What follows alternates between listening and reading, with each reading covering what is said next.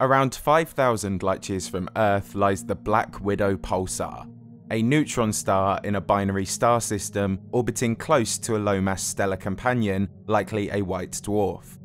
The Black Widow spider is infamous for eating its companion, and likewise, the Black Widow pulsar's immense gravitational influence and irradiating magnetic field is slowly stripping back and dissolving its white dwarf companion, likely to shred it completely within a billion years. The proximity and inclination of this pairing allowed us to make detailed, unique observations of the effect of a neutron star on its companion's atmosphere, and ever since, the term Black Widow pulsar has been coined for all neutron stars that share this behaviour.